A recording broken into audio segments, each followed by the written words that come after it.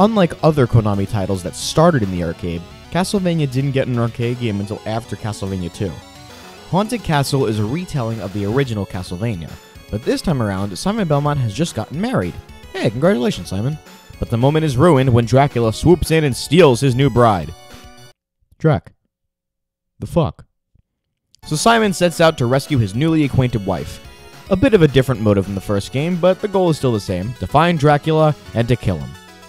So the first thing you'll notice is that Simon walks like he just shit himself. Seriously, this is one of the worst walk cycles I've ever seen in a video game. The next thing you'll notice is that enemies do an insane amount of damage to you. This is where this game's gimmick comes in. Since this is an arcade game, it is a genuine quarter eater. Sweet, bloody tears of a vampire, this game is brutal. In fact, I think this just may be the most difficult Castlevania game that exists. You die so easily. There is so much annoying instant kill bullshit in this game. Not to mention, you only have one continue. If you game over, no matter how far you are in the game, you start at the beginning.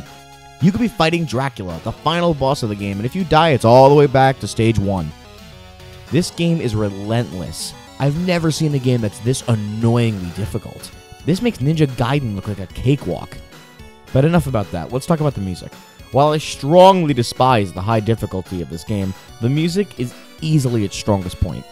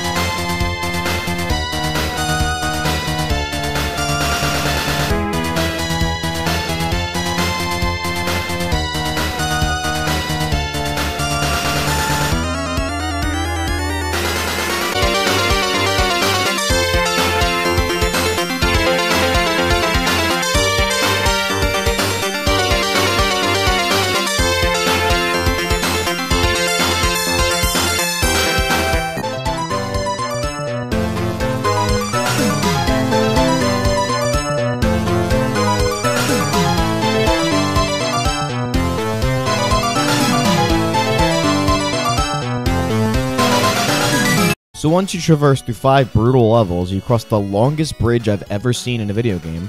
Seriously, the entirety of stage 6 is just a bridge, and then Dracula. That's it. The whole final level is just a bridge. It's just a bridge. The last level in the game is a bridge. And now the final battle against Dracula begins. Man, I'm glad the whole hit his head thing doesn't apply here, because that would kind of be impossible, wouldn't it? Once his first form is defeated, he transforms into Oh, so now you want me to hit your head? Upon his defeat, Simon's bride is rescued and the castle crumbles.